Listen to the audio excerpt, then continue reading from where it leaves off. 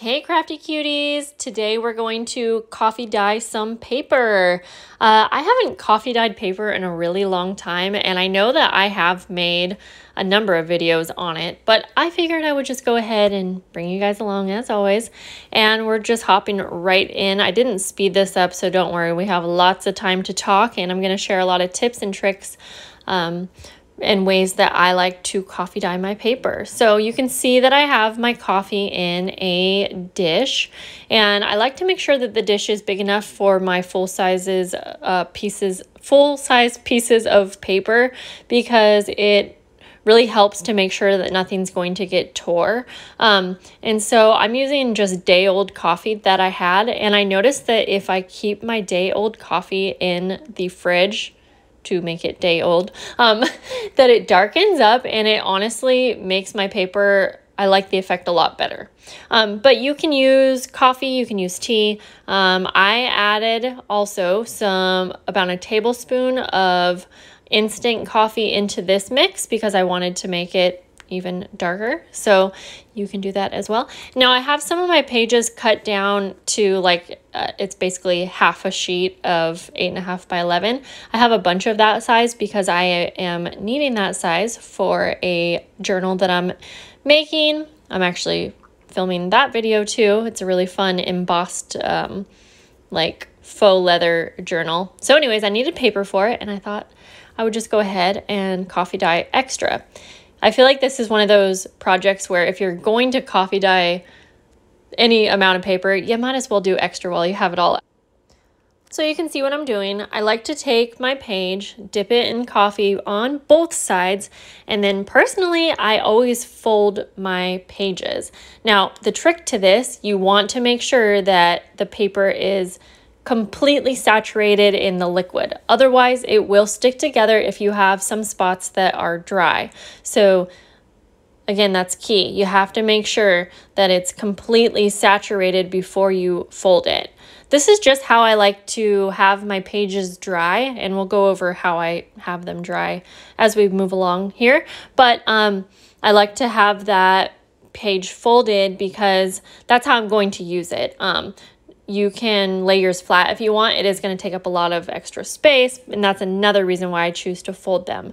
I have um, a spot next to me covered in saran wrap, and that's where I am laying down these um, pages once they're dipped in. The first little technique I want to share with you is using stencils. You can use any that you have, and then I have my different ink sprays here. I have one that's brown, and then I have this teal color that I was wanting to use up. So the first thing, I'm just gonna go ahead and take a color um, of my choice and spray it directly onto the paper.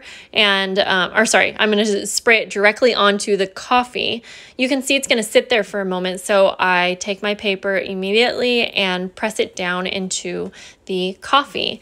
And this is going to be somewhat of a subtle look um, but personally I kind of I don't like to get those precise um, images on my coffee dyed paper. I want it to look kind of just messy and interesting. And so I like how this one ends up looking. Um, I'm going to show you a few different ways to use it.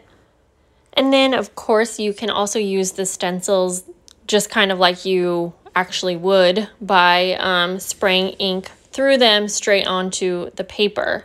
Now I'm going to just lay this on top of the coffee, kind of let it float there for a minute because I know that the ink is also going to, there's going to be extra spray kind of going everywhere. And I'm fine with that.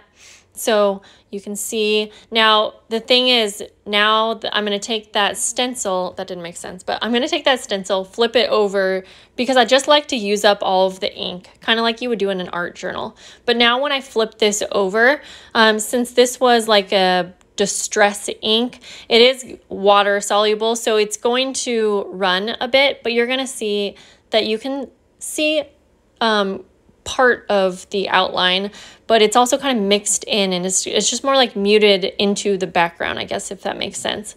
Um, so that's kind of my favorite way to use these stencils because it just kind of, I don't know, it kind of looks like it's all one. If I don't know. I'm having trouble with my words, guys, like this last month, not even just today.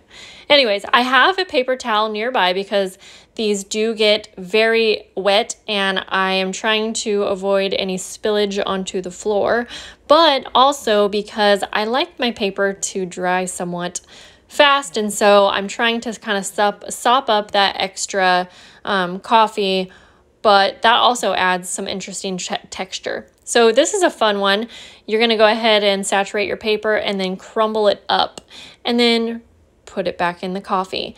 Now this, you do have to be careful because it is easy to get rips and tears in your paper when you do this, but um, if you're using like a single sheet of paper for this technique, I find that it's a little bit easier and more manageable um, to work with. And I feel like it almost looks like kind of faux leather. So anyways, guys, yeah, I'm just going to be sitting here coffee dyeing some more paper as as we go along. Um, and I'll talk about real quick a few ways that I like to dry my papers. One, I like to do this at night before going to bed, and then I just leave them out on the counter um, on top of the saran wrap. And I just lit it out or leave it out and let it air dry. And uh, by morning, they're usually pretty dry. And if I'm not stacking too many of them on top of each other, then they're they're usually dry by morning. But you can see I'm kind of stacking these on top of each other um, quite a bit. And I've never had trouble with them sticking together as long as, again, there's no dry spots. So here I am, I'm just uh, coffee dyeing two single sheets of paper. I want to put them somewhat close to each other because I'm going to use a stencil again. And I was just trying to figure out the placement where I wanted to put it. But again, when I'm using these spray inks, they do get messy and the ink kind of goes everywhere. So I like to kind of use that to my advantage. I'm sorry guys, I did not realize that I was totally out of frame when I was filming this part, but basically I was taking the stencil and I was making sure that that coffee dyed paper was not sopping wet because otherwise, you know, the ink's going to spread quite a bit.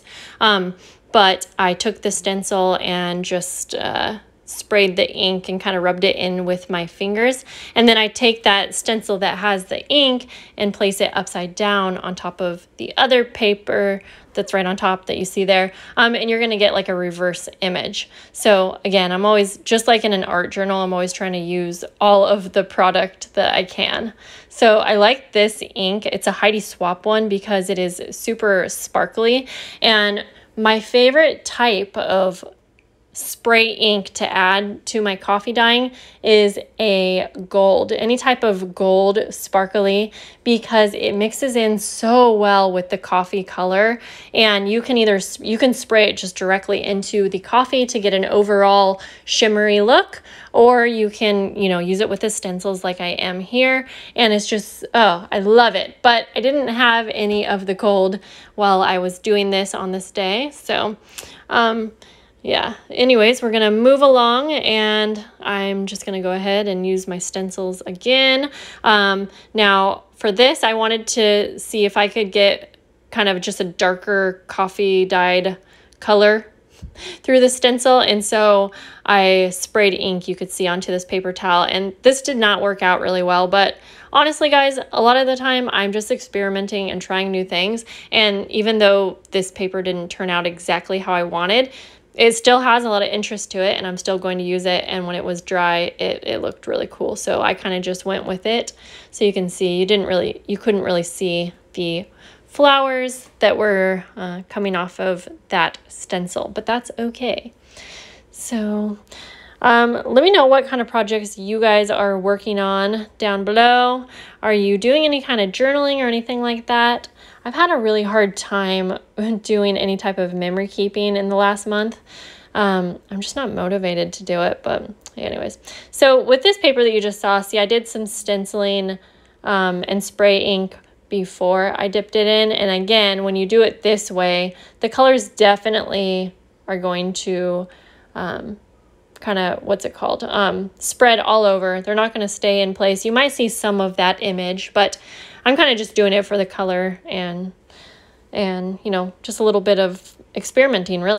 So now I'm going to experiment a bit with how I am drying these and my favorite way is just to leave them out. However, I do use the oven at times and you're going to see I use this silicone um, cupcake holder that I have that is shaped like hearts. I wanted to see if I could get some heart shapes and I think that this works a lot better if you have a metal pan but this did work. Um, and so I just lay my paper flat and I'm going to go ahead and put it in the oven.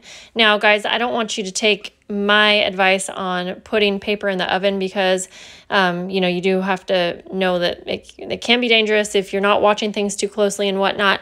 I like to have my oven on around 300 or 325. Um, and then I just watch the papers closely. Like literally, they only need a few minutes. So, um, I will show you what that heart paper, I'll show you what all of these look like at the end, really. So I'm going to just continue on. I set that one aside. I do also like to make sure that the papers are not too wet when I'm putting in them in the oven because otherwise it just gets super smoky and you don't want any of that. All right, so um, man, my um, as I'm doing this voiceover, a hundred different uh, tries, I'm noticing that my hands are still super coffee dyed and I have washed them so many times. So keep that in mind. If you don't want coffee colored fingers, you might want to wear gloves. so I love how the splattered ink looks. And so that's why you'll see that I really do enjoy spraying the ink on the paper before. And you might notice that this ink this spray ink doesn't spread as much as my um, brown ink, which I think it's a distress ink. I'm going to grab it here and see. Um, and so that's the other thing. You can try different things like alcohol inks because alcohol ink, once you spray it on the paper, it's mostly going to keep whatever design it made. It's going to be pretty darn permanent because it's not like water, it's not like watercolors. Okay, so the teal one I had is the Heidi Swapp Color Shine, just so you guys know. And then the uh, brown one is actually a Dylusions ink spray. Hmm.